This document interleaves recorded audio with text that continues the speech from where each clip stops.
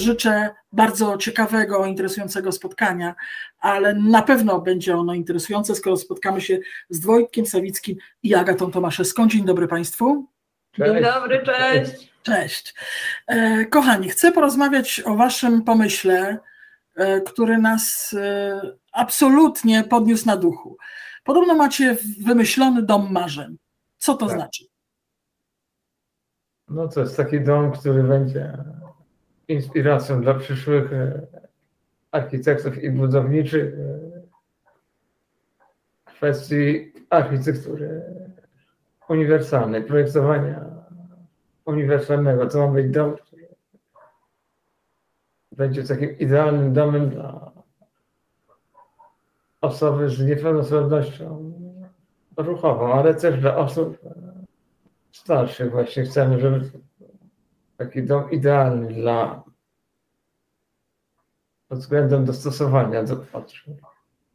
Kto ten dom, e, kochani, wymyślił? czyli jak będzie wyglądał w środku, jakie rozwiązania są potrzebne. Bo wy macie marzenia i pewnie wyobrażenia o tym, Wojtek szczególnie dużo tak. wie na ten temat, zresztą ty Agato teraz też. Ale kto go, e, kto go zaprojektuje, kto go stworzy i zbuduje? Może to, to zacznę od tego, że niedługo startuje taki ogólnopolski konkurs studencki, w którym zostaną jakby ustalone takie bazowe założenia tego projektu. Chcemy, żeby studenci w ramach też edukacji właśnie konkursu stworzyli takie założenia tego domu, bo na razie jeszcze nie wiem dokładnie jak to będzie wyglądać. Znamy tylko, mamy takie marzenia, musimy to dostosować trochę do rzeczywistości. Więc dlatego chcemy właśnie stworzyć taki konkurs, później na bazie wyników tego konkursu będzie drugi konkurs już dla wszystkich, tylko będą już znane wszystkie założenia, które będzie trzeba spełnić. W ogóle sam pomysł e, takiego domu, e, House on Wheels, tak go nazywamy, powstał przypadkiem podczas rozmowy z fanami na Stories, gdzie właśnie E, wymyśliliśmy, żeby mieć taki dom marzeń i stamtąd ten pomysł nagle zbudował się e, w taki partycypacyjny projekt, bo zaczęli do nas pisać ludzie, którzy chcieli wziąć w tym udział, chcieli nam pomóc, e, architektki, tak. designerzy. Projektantki procesu. Tak, po prostu ludzie do nas zaczęli się odzywać, że chcą nam pomóc, bo to jest świetny pomysł, żeby stworzyć taki E, prototyp domu i potem każdy będzie mógł z tego korzystać. I najważniejsze dla nas jest to, żeby w końcu zakończyć pewną taką medyczną estetykę dla osób z niepełnosprawnościami. Szpitalną tak zwaną. Tak, tak. Dokładnie. Korytarz i pokoje, korytarz i pokoje, nic innego. Tak, tak dokładnie. Farba olejna do poziomu oczu. Tak, chcemy połączyć właśnie estetykę z funkcjonalnością. Wbrew pozorom to jest dosyć innowacyjne. Dokładnie. Okazuje się, że niewiele osób padło na to, że rzeczy, które są dostępne i projektowane dla osób z niepełnosprawnościami, mogą być też ładne. No to ogólnie temat estetyki jest, e, z tego co zauważyłam, rzadko. E, zaniedbywany. Tak, tak, jest zaniedbywany e, w temacie OZN. I my to zmieniamy nie tylko na social mediach, ale właśnie też już chcemy się wziąć za architekturę. Stworzyliśmy już nawet zespół tak, mamy, już, mamy ludzi już od marketingu, od e, projektowania, od grantów. Od grantów. E, właśnie jest też część edukacyjna e, i, i już jakby temat naszego domu dostępnego jest przedmiotem do zaliczenia i już i odbywamy konsultacje ze studentkami, które właśnie uczą się projektowania dla osób z niepełnosprawnościami właśnie, na zaliczenie. Tak, tak genialne jest to, że to nie jest dom tylko dla was. Tak, tak. Dokładnie. Wyjaśnijmy to od razu. Nie, że sobie domek zbudowaliście, własne gniazdko. To nie musielibyśmy do tego mieć innych osób. Tak. E, natomiast e, my po prostu całym projektem LifeOnu jest chcemy, żeby świat był odrobinkę lepszy, zwłaszcza dla osób z niepełnosprawnościami. I dlatego chcemy robić to wspólnie, ale po prostu dla innych. Czyli taki dom byłby prototypem, ponieważ każdy mógłby korzystać z tego projektu. Outsourcingowy. Tak, projekt będzie w chmurze, będzie, każdy mógł go nie tylko pobrać, ale też zmodyfikować pod potrzeby danej rodziny, danej osoby. Oprócz tego Chcemy, żeby też to miejsce było siedzibą Fundacji IWEN i żeby w tym miejscu odbywały się różne konferencje, różne debaty, różne właśnie warsztaty. Chcemy, żeby to miejsce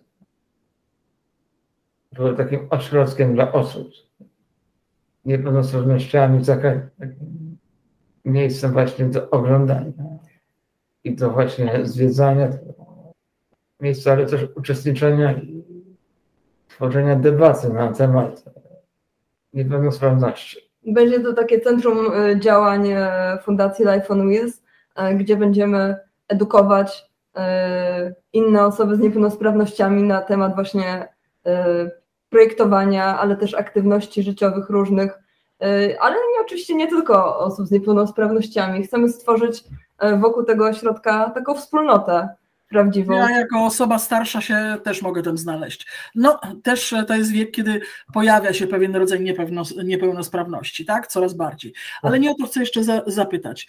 E, jaki rodzaj innowacji będzie w tym domu? Bo Wojtek często mówił, że nie wiem, drzwi otwierane na dźwięk jego głosu, bo nie sięgnie ręką, tak. albo na światło zapalane na mlaśnięcie językiem, żeby można było sobie światła w swoim domu, tam gdzie się przebywa i dojeżdża wózkiem, zapalać. Jak tak. sobie wyobrażacie ten dom w środku? On musi być napakowany różnymi innowacjami i różnymi pomysłami. Tak, tak. Chcemy wykorzystać e, technologię domu inteligentnego, czyli zarządzonego przez właśnie komputer do takich celów związanych z ułatwieniem dostępu. Nie chcemy, żeby ta technologia jak do tej pory była tylko zabawką dla ludzi bogatych, ale faktycznie przydała się ułatwieniu dostępu i tworzeniu domu, który osoba z niepełnosprawnością może sama zarządzać, mimo tego, że nie może ręcznie obsługiwać tych wszystkich elementów. Tak, naszym celem jest właśnie udowodnić, że osoba nawet z dużą niepełnosprawnością ruchową może żyć y, autonomicznie i jak najbardziej niezależnie. Nie być więźniem. Od innych, tak. Do, dokładnie. Y, więc y, wszystkie rozwiązania domu inteligentnego y, mogą się przydać. Tak jak właśnie komputer, gdzie można głosowo albo wzrokowo zamykać rolety, regulować temperaturę powietrza, otwierać czy zamykać tak, drzwi, okna, włączać światła. Otwieranie drzwi też wydaje się takie symboliczne właśnie. Chodzi o niezależność właśnie decydowanie o własnym losie. Tak, że jak sam będziesz mógł otworzyć drzwi, tak. to będziesz się czuł jako wolny człowiek. Mówicie o tym, że to jest, będzie dom modułowy, że będzie można dostawiać kolejne moduły w miarę potrzeb, tak? E, to jest też świetne rozwiązanie. Powiększasz przestrzeń, jeśli się pojawia inna osoba, jeśli się pojawia dziecko, jeśli ktoś musi mieszkać tylko na poziomie zero. Ten mhm. dom będzie dawał więcej możliwości. Taki właśnie jest nasz cel, żeby ten dom mógł być dostosowany do wszystkich mo możliwości, wszystkich potrzeb, różnych nie tylko sprawności, ale też, żeby dawał możliwość rozwoju i zmieniania tego domu właśnie ze względu na różne okoliczności, które się wydarzają w trakcie życia. No i w ten sposób jest to bardzo uniwersalny projekt, bo każda rodzina jest inna. Y, niektórzy potrzebują mieć asystenta. Asystent może mieszkać na piętrze na przykład. Y, niektórzy nie potrzebują, więc wtedy jest tylko jeden poziom. Y, a niektórzy właśnie mają dzieci, rodziców, więc na każdą ilość można tworzyć moduły. Tak. Żeby ten dom wybudować. Tak? To ważne też jest magazynowanie energii i zielona energia, żeby cały czas był dostęp do prądu, dlatego ważny jest magazyn energii i też oszczędność energii, bo w moim życiu muszę mieć cały czas dostęp do prądu ze względu na właśnie respirator chociaż. No i też dom inteligentny, który... Tak, i nie mogę sobie pozwolić na... Na przerwy w prądzie. Na jakieś blackoutsy, nie? Tak, więc e, na pewno będzie, e, będą rozwiązania fotowoltaiczne e, i ekologiczne, energooszczędne, tak żeby mieć... Powiem Wam, kochani, idziecie po całości, ale żeby ten dom zbudować, po pierwsze, primo, jak mówią klasycy, musicie mieć działkę. Tak. Jeszcze w dodatku założenie Wojtka i Twoje, Agatko, było takie, że ma być to dom blisko natury, więc działkę blisko natury, w dobrym miejscu. Mamy e... takie marzenie, właśnie, żeby to było blisko natury. E... No może Wojtek powiedz, jakby, jak to jest ważne dla To jest ważne właśnie okolice, się przebywa, bo nie jest to osobą zbytnio mobilną, więc wa ważne jest to, żeby mieć naturę w najbliższym otoczeniu i żeby móc ją obcować na co dzień z reguły osoby z niepełnosprawnościami większość czasu spędzają w domu i, i zaplanowanie jakiejś wycieczki. No. Łono natury jest bardzo problematyczne, dlatego zależy, żeby ten dom był również przeszklony, żebym widział naturę za oknem po prostu. Bo większość czasu spędzam jednak w domu. W domu i też często jest zimno i muszę się przygotowywać do wyjścia. Marzy mi się taki przeszklony, żeby mógł podziwiać naturę z wnętrza mieszkania. Albo wyjść to... na taras, ale też właśnie, żeby był ten ogród, tak, również ogród, teren zaprojektowany tak, żeby był dostępny dla osób y, z trudnościami ruchowymi, właśnie żeby pokazać, że mogą korzystać również z przyrody, mimo że najczęściej współcześnie no, jest to utrudnione dla tak, osób na wózkach.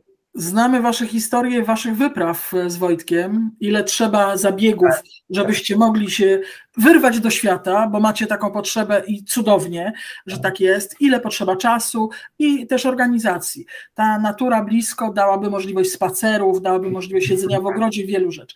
Macie działkę? Pytam ja poważnie? Już? Na razie rozmowy z miastem i tak. na dniach się wyjaśni, co. Tak, bo ponieważ chcemy y, współpracować z miastem y, i razem tworzyć różne inicjatywy, więc y, chcielibyśmy, żeby y, miasto również tą działkę nam użyczyło i y, w zamian za właśnie tworzenie y, no, takich działań społecznych, miejskich i, i różnych również na terenie właśnie tego ośrodka. Więc widzimy to właśnie również na poziomie działki jako teren współpracy.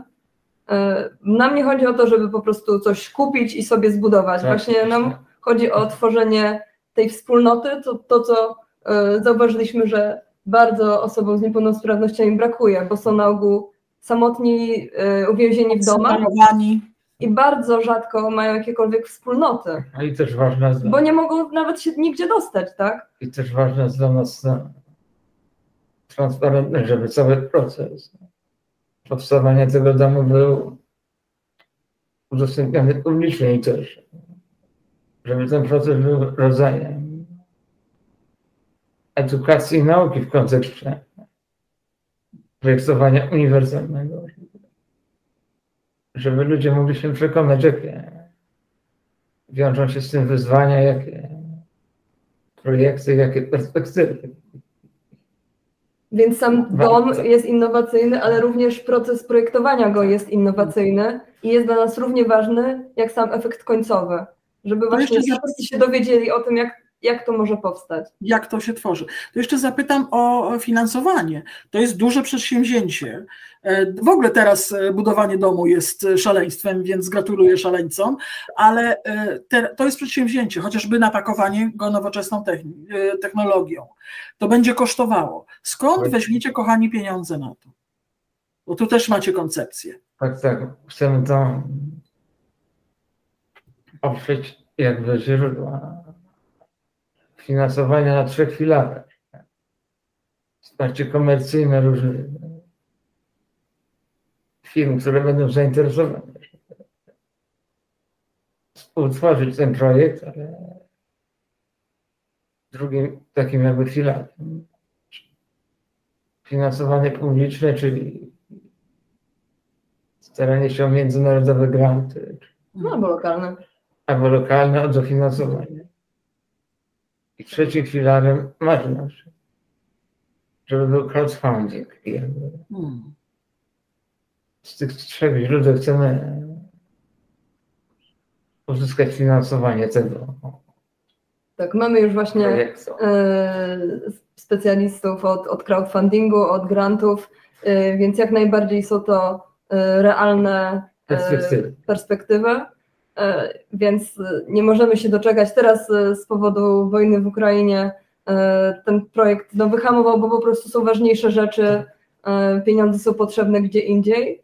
Natomiast w międzyczasie E, zbieramy nasz zespół, szkolimy się i dopracowujemy nasz projekt. Tak, żebyśmy byli gotowi listu. I rozwijamy tą część edukacyjną, bo tak naprawdę celem nie jest właśnie zbudowanie tego domu, ale zbudowanie świadomości. Może to, może to jest takim naszym głównym celem. W ogóle wybudujecie świadomość we dwójkę. Więc to jest wasz cel i wasza misja, a to jedna z części tej misji. Ja jeszcze zapytam o taką rzecz, czy będziecie też myśleć y, o takich detalach, y, nowoczesna technologia, bryła, wyjście do, na łono natury, ale też potrzebne są rzeczy codziennego użytku, meble, y, rzeczy do łazienek. Czy o takich detalach też będziecie w tym domu myśleć? Studentki właśnie projektują na meble. Tak, na SP studentki E, projektują na zaliczenie tak, e, meble, które są dostępne precyzyjnie dla, dla nas jako pary tak. na zaliczenie. Natomiast jakby to jest wiadomo, e, część edukacyjna, ale mamy kilkadziesiąt firm, które chcą brać udział w tym swoimi produktami, mhm. więc w ogóle się nie obawiamy o o, o niedostępność. No jakby etap, Będziecie w pustym domu mieszkać. Dokładnie. Etap, etap jakby samego projektowania wnętrza y, będzie miał tego swoich ludzi, więc w ogóle się nie obawiamy o to. Y, wręcz z ekscytacją na to czekamy i wiemy, że y, architekci, architektki również, bo no właśnie rzadko estetyka była y, jakimś wyzwaniem tak. w projektach dostępnościowych w architekturze uniwersalnej. A jednak ważne jest to, to, co nas otacza żywym. Dokładnie. Dlaczego sama nawet. A wydaje nam się, że naprawdę grono zainteresowanych jest szerokie, tak jak e, pani Dorota mówiła, że e, każdy się zestarzeje, więc tak naprawdę projektowanie uniwersalne jest projektowaniem dla każdego z nas. I były nawet badania, że jeżeli ktoś ma do wyboru schody lub płaski podjazd, to wejdzie podjazdem, bo po prostu jest wygodniej również sprawnym osobom. Agatko, przyznam Ci się do czegoś. Chciałabym, żeby drzwi otwierały się na mój głos. E, chociaż e, mam sprawne ręce, ale to jest wygoda, bo jakbym miała dwie siatki w ręku, również chciałabym, żeby mi tak dom pomógł. Tak. Więc to dotyczy do każdego. Jeszcze raz chcę się upewnić co do sprawy. Czyli każdy będzie mógł skorzystać z Waszego doświadczenia, z tego projektu, z tego, jak tworzyliście ten dom. Jeśli będzie chciał taki dom stworzyć na przykład w swojej miejscowości. To nie jest tylko Wasz projekt. Tak. Oczywiście będzie ten projekt dostępny za darmo dla każdego w internecie do pobrania lub zmodyfikowania, ponieważ to właśnie jest tym celem. I każdy będzie mógł przyjść, zobaczyć, jak działa to mieszkanie, zwiedzić, zobaczyć e, na żywo, jak to wygląda, jak wygląda taki ogród. Właśnie to jest dla nas takie centrum edukacyjne. Fantastyczny pomysł. Gratuluję pomysłu.